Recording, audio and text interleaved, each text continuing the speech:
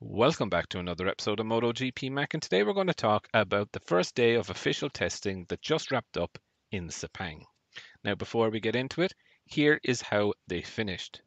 Jorge Martin set the fastest lap time from Pedro Acosta, Fabio Quartararo, Fabio Di Giannantonio, Enea Bastianini, Maverick Vinales, Alex Marquez, Marco Bezzecchi, Marc Marquez, Johann Zarco, Alex Rins, Brad Binder, Aleix Espargaro, Joan Mir, Miguel Oliveira, Pecco Bagnaia, Luca Marini, Jack Miller, Cal Crutchlow, Taka Nakagami, Augusto Fernandez, Raul Fernandez, and Michele Pirro brought up the tail end of the field.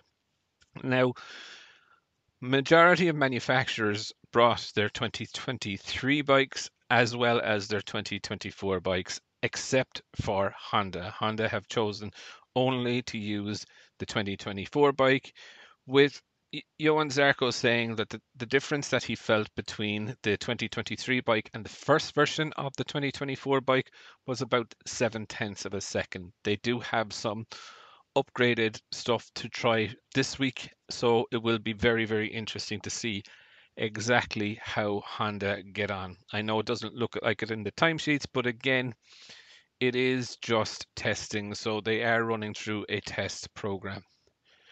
Ducati, um, majority of the riders on Ducati started out on 2023 bikes today, especially in the morning. They were getting their eye back in because a lot of them didn't have the opportunity to test in the shakedown test. So, again, day one, I wouldn't necessarily be looking at lap times too deeply because at the end of the day, um, they're mainly using 2023 stuff.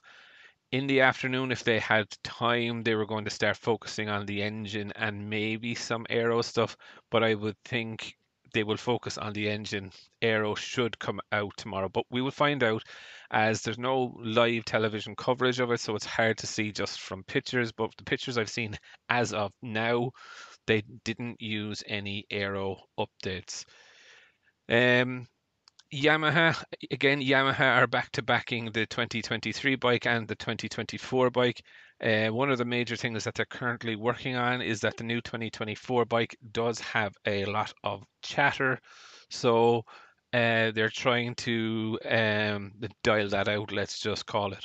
Aprilia, they're under the gun a small bit. They've had to build 10 bikes in the past few weeks.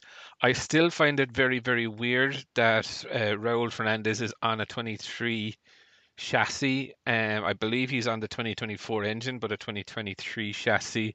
As they were building complete new bikes anyway, why would they um, not share the, the 2024 spec with them? There's something really weird going on.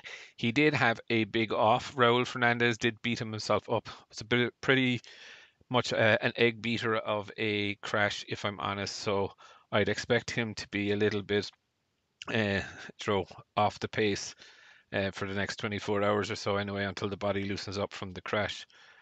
Um, again, KTM, we didn't see much in terms of aero from them. Um, but again, they have an awful lot of stuff that they do want to test, and and you know, kind of in the same kind of spec as Ducati. I don't think that we're really going to see their full aero until later on. I do think it's going to take some time, but you know, if I was looking at the leaderboards, you know, some of the ones that stick out at me from today's results, Pecco Bagnaia down in 16th place, eight tenths of a second off, which is Probably not ideal, but again, we know that they're working on engine settings rather than hunting for lap times. He did set his fastest uh, lap on lap 45 of 52 completed. Uh, Augusto Fernandez got a good few laps in uh, as well, down 1.5 seconds off uh, Martin's time. But again, he said his last, his second last lap of 63 or 64 was his fastest lap. Miller as well is down a little bit low, but again, saying that he set his fastest lap early, which leads me to kind of believe that he wasn't actually doing a a fast run. Maverick Vinales set his fastest lap on lap 59 of 60. So again, he did put in a soft tire and have a go. Is it would be my my reckoning. Marc Marquez had a pretty quiet day, did set his fastest lap in lap 45 or 47, so kind of leads me to believe again that he did have a go or a soft tyre run. Um, similar enough with uh, Alex Marquez, lap 44 of 50, he did set his fastest time. Overall, day one of testing is in the books.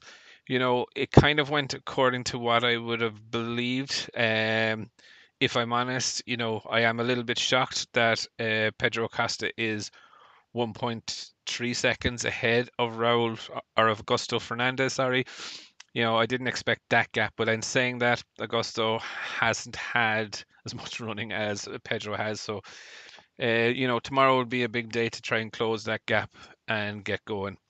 But I definitely love to know your thoughts. What do you think so far of the official day one of the Sepang test? Definitely leave your thoughts in the comments below, and I'll be back again tomorrow with another video.